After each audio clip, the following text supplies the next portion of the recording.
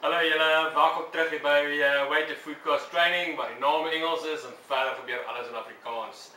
Ehm um, ons gaan jou hierso deur 'n uh, hele proses vat en die opleiding gee om 'n baie professionele waiter te wees.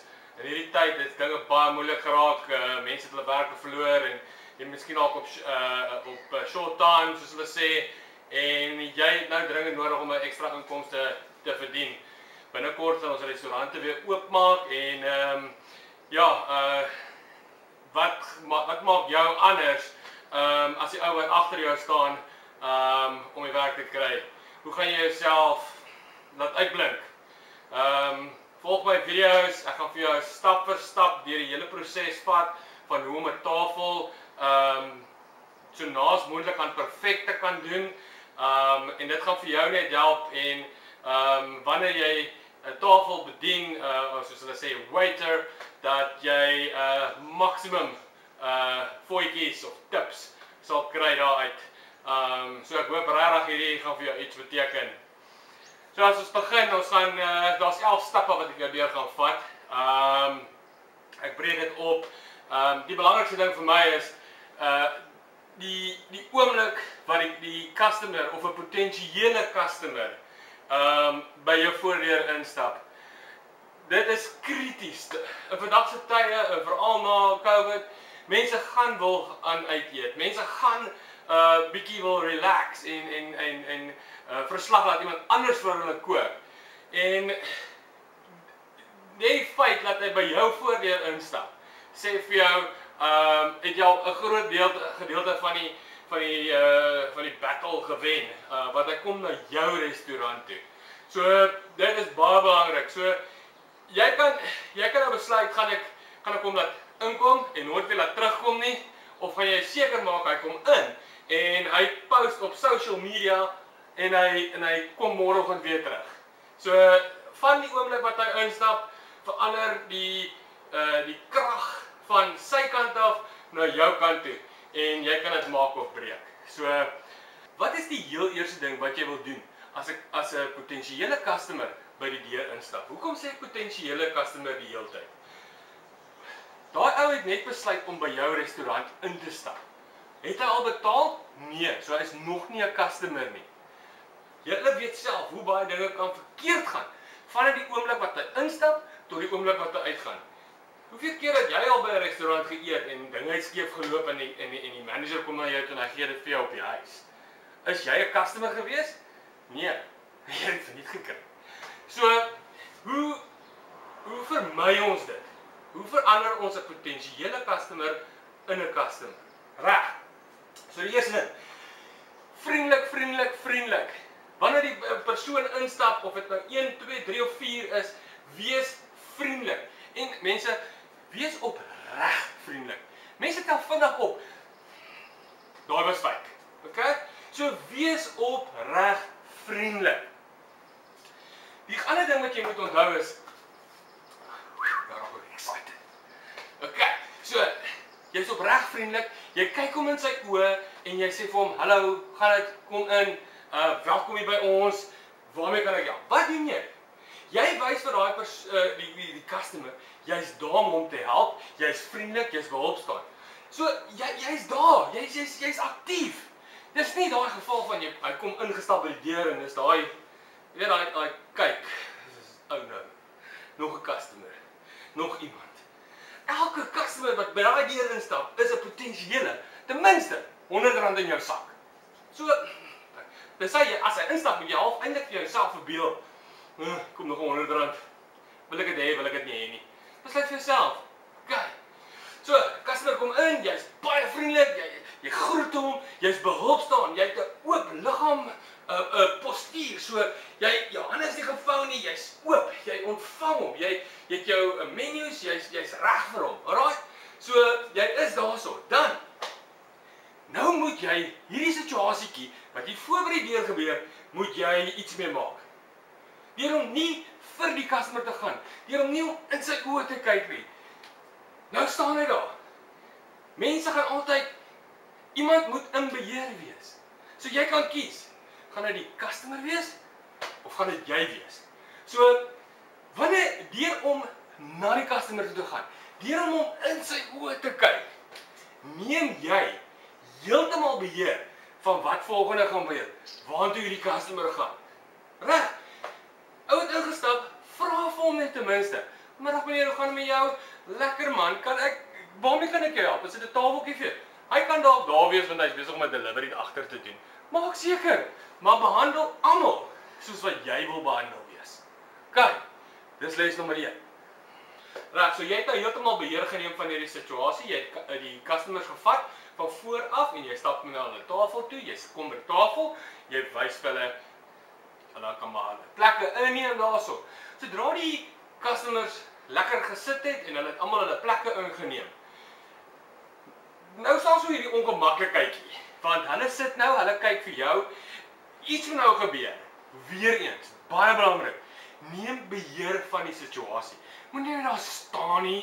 Jy is die waiter. Jy moet beheer neem. Reg? OK. So wat gebeur? Sodra hulle gesit het, is dit nou jou geleentheid om die menus vir hulle uit te deel. So, jy gee elke menu vir elke uh customer. Jy sit net nooit die menus op 'n hoopie by die tafel nie. Jy doen dit net nooit nie. Dit gebeur net nie. Jy steel nie wieldoppe nie en jy plak nie net menus op 'n tafel neer nie. Jy doen dit net nie, okay?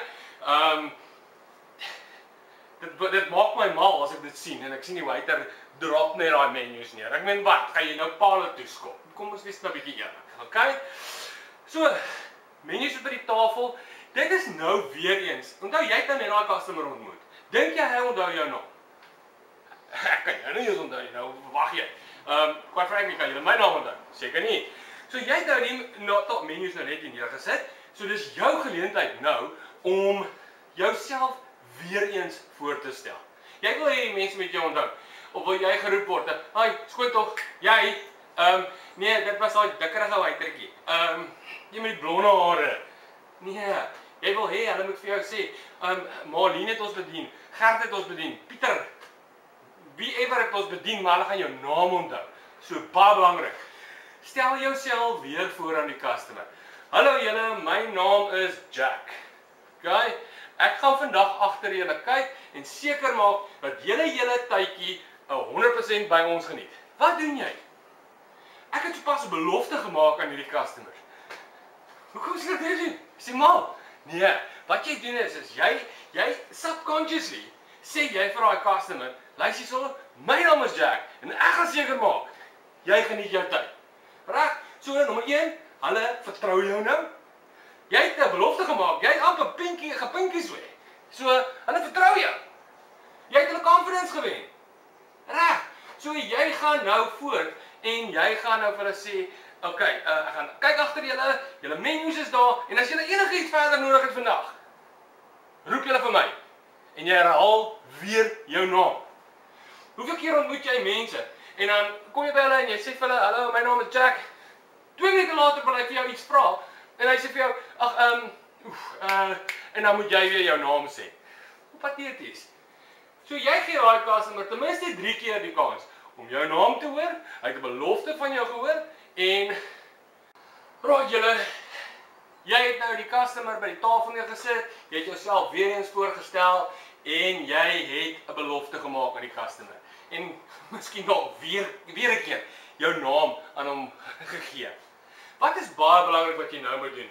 Jy jy gaan onmiddellik van die tafel optel wat wil hulle hê jy moet nou doen. Dit is nou dis nou wat 'n bietjie experience het gaan vir jou leer, maar as experience nie daar is nie, volg die reëls. So maklik soos dit. Okay? So nommer 1 reël is nou het jy die tafel uit uit die menus uitgedeel, jouself bekend gestel. Nou gaan staan jy. En wat doen jy nou? Jy vat so klein treetjie terug. Observeer. Mense gaan vir jou met hulle oë en met wat hulle uh, voetel gaan hulle vinnig vir jou sê wat aangaan. Daar gaan altyd een aap wees by die tafel wat vir jou vra, "Waar is die badkamer?" Dit gaan gebeur. Wees gereed vir daai ene. Kry vir jou vinnige dis daar af. 'n Goeie tip vir hierdie enetjie is wanneer jy op pad is na die tafel toe met die uh, customers Stap en net so casually, baie casually. Sê vir hulle, "Haai julle badkamer is net daar as iemand wil, né? Ehm um, ons gaan gou gou." Hoeveel keer stap jy by die restaurant en jy's nog skaars binne? Jy's nog skaars by die tafel. Dan sê die vrouens: "Nee, poeier. Nou. Gaan nou poeier." Kom ons los dit net. Ek meen, maar nou ja. So, nou jy vra daai oomblik, jy staan 'n bietjie terug. Jy kyk vir hulle en hulle kyk vir jou en iets moet nou gebeur. Wat moet gebeur? Iemand moet weer beheer vat van hierdie situasie. Alles bly 'n situasie. Reg. Hulle gaan net gaan sit. Nou moet jy met hulle inligting deel want dit is hoe hierdie verhouding nou verder gaan gaan develop. Ons moet nou inligting deel. Wie weet die meeste? Jy. So jy moet die meeste van die praatwerk doen in die begin. Reg. So wat moet ons nou met hulle deel? Nommer 1 wat jy met hulle moet deel is en dis baie belangrik, kerels. Ehm um, jy moet met hulle deel die specials van die dag. OK? Dis baie belangrik. Sê vir hulle. Luister so, ons het vandag uh lammerbietjies op op uh, special. Uh jy kry 'n gratis Coke by en ehm um, en 'n drankie of whatever die special is, maar lig hulle in van die specials. Hoekom doen jy dit? OK? Nommer 1. Nou gaan ek en ek en ek klaar geëet en klaar ge alles en net voor ek betaal sien ek um, hier pop so dingetjie op daar by die tafel en is Ag, maar die lammerbietjies was op special. Ek het nooit daarvan geweet nie. Weet jy wat? Ek gaan ek sê half voel jy het my jy het inligting vir my weerhou. Jy het my bedrieg.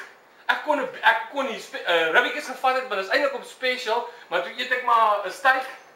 So die customer gaan Hy gaan dit gaan dit baie suur smaak in sy mond. So um, vertel die man van die specials asseblief, dit is baie belangrik. Um en ons 'n rede hoekom daar goeders op alles op special is. Die tweede ding waarvan jy die kaste moet vertel. OK? Is wat is out of stock. Nommer 1 veral nou met ons nuwe lockdown menus wat um miskien nog baie meer beperk kan wees is. Jy kan nog van die regulars hê wat dalk weer daar kom eet en hulle is gewoond, hulle eet hulle kyk Malay curry en maar met die nuwe lockdown menu is dit nie meer op die menu nie. Ehm um, so dis baie belangrik. Voor die customer 'n besluit gemaak het. Jy weet self, jy sit in 'n restaurant, jy bestel hierdie kyk Malay curry altyd en jy's al lus daarvoor. Hele lockdown deur kan jy oeg jou mond water en hier kom dit. Ons gaan nou bestel en is Ek kan nie wag nie en ek is bestel dit en Haai maar sorry ons het dit nie. Kyk. Mm. Almal ek dinge doen wat ek nie nou mag sê nie. Maar so om groot hartseer en disappointment uh te verhoed. So wanneer die 'n customer klaar gesit het, sê vir hom, Ongelukkig het ons nou nie meer hierdie volgende disse op die menu nie. Die rede daarvoor is ongelukkig die lockdown. Um maar wie jy wat chef het gesê, ons het miskien ook nie die Cape Malay en curry nie, maar ons het ouma se tradisionele curry. Ek ek gebruik nou 'n baie simpel voorbeeld. Maar vir elke produk wat jy nie meer het nie, gee vir hom iets anders wat hy kan wel bestel. Moenie net vir hom sê as hy sê ons het nou nie meer um chicken wings en dan vir hom sê, "Maar hoekom vat jy nie 'n steak nie?" Wat let jy op? Is chicken wings, steak, twee verskillende proteïene. So hou dit proteïen gewand in die sin van ons het nie meer chicken wings op die menu nie, maar weet jy wat, ek het nog 'n chicken schnitzel vir jou. Dit bly nog steeds by hoender en dit is dalk in die lyn wat hy wil gehad het. So gebruik bietjie gesonde verstand. As jy nie seker is nie, vra vir chef, vra die manager, sê vir hom luister so, wat kan ek vir die ou voorstel in plaas van dit wat ons nie het nie. Net laat ehm um, jy voorberei is op die vraag. Uh customers wil glad nie sien hoe jy staan op bubbles op nie. Ehm um, dit is nie lekker nie. OK. Indien ook nou in hierdie tyd van lockdown, nou het julle miskien ook uh in die restaurant 'n paar nuwe reëls. Jy moet jou handjies was, jy moet in jou skouer hoes, jy moet ehm um, jy mag niemand 'n drukkie gee nie. So sulke klein reeltjies en goedjies wat die uh uh uh uh die restaurant nou aangeneem het. Deel dit met jou customer. Jy wil nie 'n customer verbystap en een van sy ou waiters sien en sê, "Ag, oh, hallo, gaan net drukkie gee en alles en dan word hy toegesluit, nê? Of aangevat daarvoor mense. Jy mag niemand druk nie." En hy het nie geweet nie. Knowledge is power, right? So sê vir hom. Ehm, um, laat sê jy mag nou niemand meer drukkies gee nie. Handjies was heeltyd lekker. Ehm um, en doen wat nodig is. Kerels, fokus, dis baie belangrik. Right. So ons het nou basically in hierdie tyd het ons die tafel gevat van die voordeur tot by sy plek. En ons het ons die ys gebreek deur hom vertel, vertel van wat is op special, wat is ehm um, nie beskikbaar nie en enige nuwe reeltjies en goedjies wat nou in plek is na lockdown. So die customer is hy's ingelig, hy kan rustig sy besluite maak en hy weet wat hy kan kry en wat hy nie kan kry nie. Baie dankie julle. Ons gaan die volgende les volgende week aanvat. Ehm um, onthou om ons te like op Facebook. Ehm um, ons is op Instagram. Uh ja. En vra vra asseblief. Uh laat die uh op Facebook vra net vra. Ek sal hulle antwoord. Dankie julle. Geniet die naweek.